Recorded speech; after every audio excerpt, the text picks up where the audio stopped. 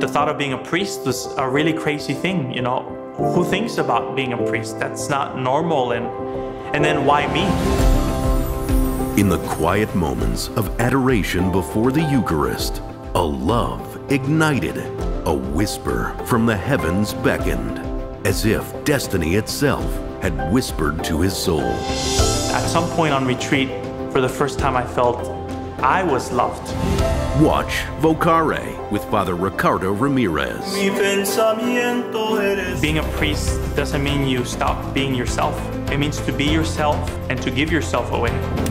On Thursday, October 5th at 8:30 p.m.